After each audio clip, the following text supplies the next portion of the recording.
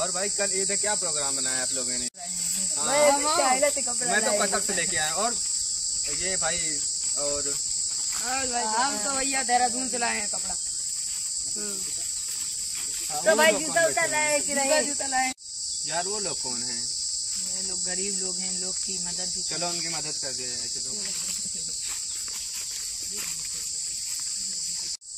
कल भाई इसका त्योहार है ऐसे गरीब लोग इसका त्योहार नहीं मना सकते हैं चलिए मेरे पास मदद करते कर है नहीं भाई। लो भाई मोबाइल ले। पैसा ले लो। भाई कपड़े अपने खरीद लेना। लो।